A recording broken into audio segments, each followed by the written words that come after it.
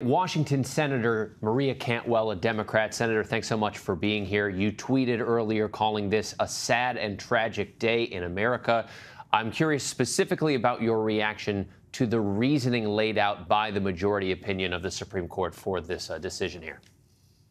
Well, it may be a decision by the majority of the justices on the Supreme Court but it is a minority view of people in the United States of America. 70% of Americans believe in this right to privacy, that women should be able to make their own healthcare decisions with their family and their doctors.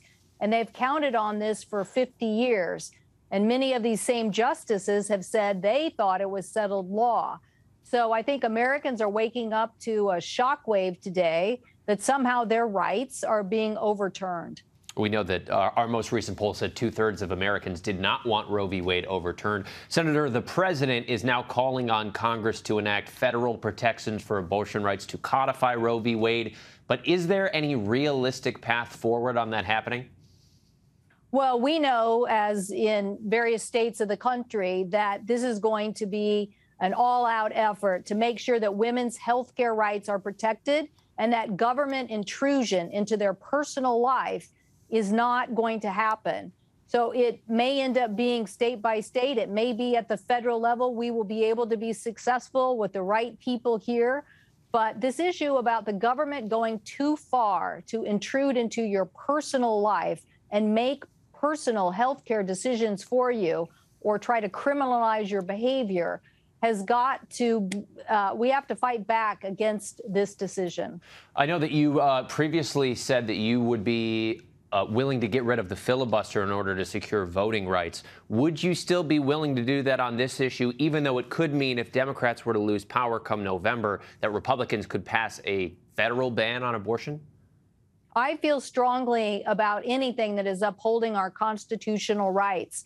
You cannot have a minority of people in Congress or a minority of people. Uh, control try to control the rights of the majority as it relates to things that are protected in the constitution. And so our federal responsibility is to uphold voting rights. Our federal responsibility is to fight for those privacy rights that have been bestowed for 50 years and have been part of our healthcare delivery system. So these are rights that i would fight every avenue to uphold. Does that mean you'd be willing to expand the supreme court as yes. well oh well we would we certainly believe that the Supreme Court, as I said, maybe a majority of them made this decision, but it's in uh, only a minority of Americans agree with it. So I think we're going to have to continue to see what avenues that we can have to make sure that these rights are protected in the future. Now, uh, there'll be lots of discussions about uh, this court decision, but this court is indicating that they might go even further. And so we in overturning uh, contraception or other things that have been uh, protected as personal rights for individuals. So we will have to look at and see what we can do to make sure that these rights are protected. On that subject, uh, Senator, we heard earlier from your state's governor, Jay Inslee, speaking alongside Oregon's Governor Kate Brown, California's Governor Gavin Newsom, all promising that they were going to protect reproductive rights.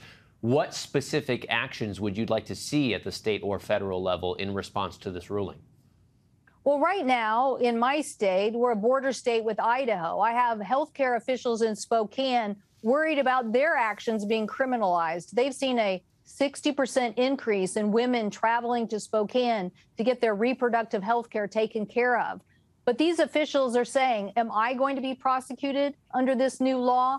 Are you going to take action against me? Can we even still continue to serve people who need access to health care? So it is putting a very chilling effect on our entire healthcare delivery system. I want patients to be able to see their doctor. I want women to be able to get the advice from their doctor about their reproductive choices. And I want to make sure that we are fighting to help our healthcare system continue to deliver healthcare. I think it's likely that this issue has now rocketed up to the top of issues concerning voters on both sides uh, of abortion rights. What's your message to voters as we head to the upcoming midterms, and do you think this might galvanize your support? The government should stay out of your bedroom. The government should stay out of your health care decisions with you and your doctor and your family. This is an intrusion to your privacy and no place for the government. And I hope that people will help us fight for these rights so that the government doesn't go even further in intruding on our personal rights and that these are rights that we believe are in the Constitution. Washington Senator Maria Cantwell, thanks so much for your time tonight. Thank you. Hi, everyone. George Stephanopoulos here. Thanks for checking out the ABC News YouTube channel. If you'd like to get more videos, show highlights, and watch live event coverage, click on the right over here to subscribe to our channel. And don't forget to download the ABC News app for breaking news alerts. Thanks for watching.